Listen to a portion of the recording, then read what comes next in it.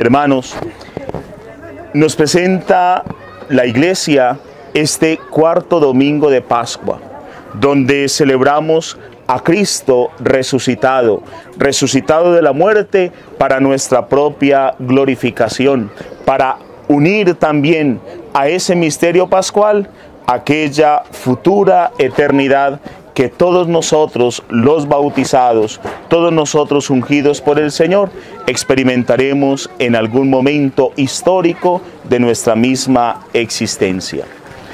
En este domingo de Pascua, cuarto domingo, la iglesia nos presenta la liturgia de la palabra muy especial. La primera lectura de Hechos de los Apóstoles, donde nos muestra que la salvación, la evangelización, el conocimiento del nombre de Jesús no es solamente para un pequeño grupo, no es solamente para algunas personas, es la universalidad del género humano quien está vinculado también a este misterio pascual de nuestro Señor Jesucristo. Los apóstoles se dirigen a predicar el Evangelio también a los gentiles. Nosotros hoy como pueblo de Dios también estamos llamados a ir, a trascender las fronteras, las fronteras de ideologías, las fronteras a veces de personalidad, para, y aún las fronteras eh, geográficas, para luego ir también a anunciar la buena nueva, la buena nueva del Evangelio a muchos hermanos nuestros que esperan y que necesitan también que les llevemos este mensaje del Evangelio, este mensaje de Jesús.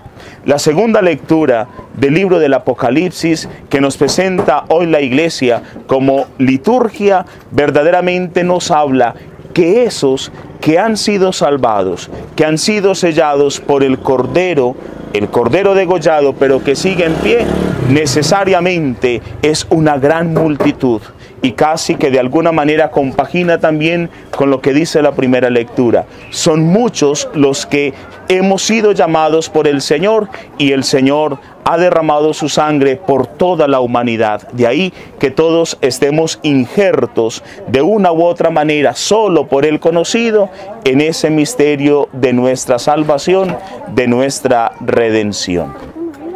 Y el Evangelio nos presenta una imagen muy hermosa, muy significativa de Jesús y que seguramente todos conocemos y aún en nuestras casas lo podemos tener en algún cuadro. Jesús es el buen pastor que ha venido para reunir a todo el pueblo de Dios, para reunir en un mismo rebaño a todos aquellos que ha salvado. Ese buen pastor no quiere que ninguno se pierda.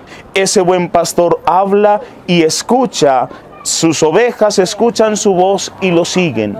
Ese buen pastor ha venido para adentrarnos, para unirnos en un solo pueblo, en un solo rebaño. Casualmente o providencialmente iniciamos con este Día del Buen Pastor, iniciamos la trigésima segunda semana vocacional, donde seminaristas, sacerdotes, algunas religiosas eh, van a cada una de las parroquias y fuera de dar su testimonio de vida de consagrados, fuera de acompañar al sacerdote y a la comunidad, es animar y buscar y presentarse como verdaderos modelos a seguir al Señor Jesús. A aquellos jóvenes, a aquellas jovencitas que sienten el llamado, que sienten que el Señor los está invitando para entregar su vida por el anuncio del Evangelio, esta es la semana, la semana especial para invitarlos a que se animen, a que verdaderamente sean capaces de decir, quiero seguir al Señor e ir y caminar tras sus huellas.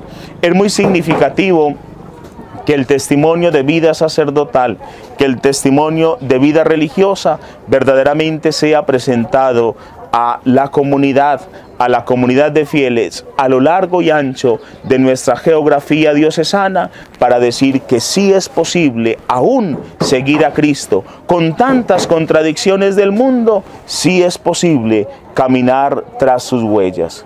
en esta figura del buen pastor también queremos traer en esta semana vocacional y con mayor razón en este cuarto domingo de Pascua la memoria, el recuerdo de tantos sacerdotes, el sacerdote que nos ungió y nos bautizó, el sacerdote que nos dio la primera comunión, el sacerdote que nos formó para consagrarnos en el sacramento de la confirmación, el mismo sacerdote o tantas personas que nos han ayudado en nuestro proceso de fe, que nos han ayudado en nuestro encuentro de fe.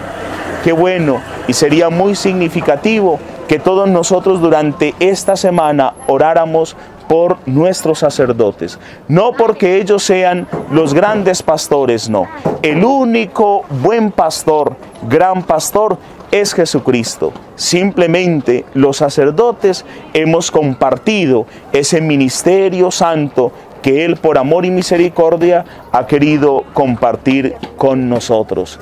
Qué bueno que todos nosotros, fieles católicos, pueblo de Dios, verdaderos hijos de Dios y salvados por Jesucristo, tengamos muy presentes que Jesucristo, buen pastor, nos quiere unir bajo una misma familia, bajo un mismo callado, como verdadero pastor.